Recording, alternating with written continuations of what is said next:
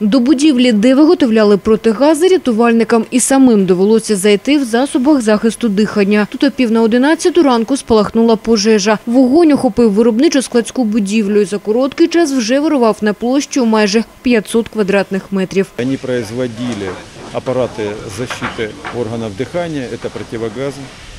Сейчас устанавливается, почему горело и, какая, и какой материал горел, происходило его горение.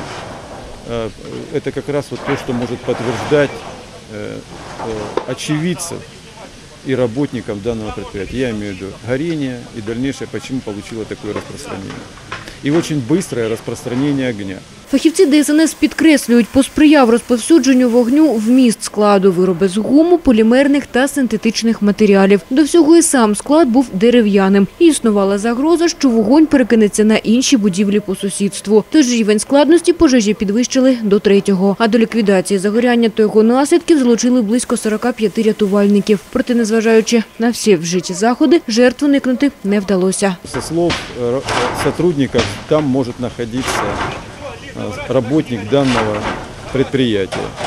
Сейчас ведется его поиск. На месте работает оперативно-следственная группа. Рятувальники виявили тіло загиблого робітника, чоловіка 1996 року народження. Ще один працівник 63-го року народження отримав опіки та отруєння чадним газом. Його госпіталізували до 4-ї лікарні Харкова. Локалізували вогонь за годину від першого дзвінка про пожежу об 11.25. Обставини її та причини виникнення будуть встановлювати експерти. Анна Черненко, Володимир Павлов, Вісті.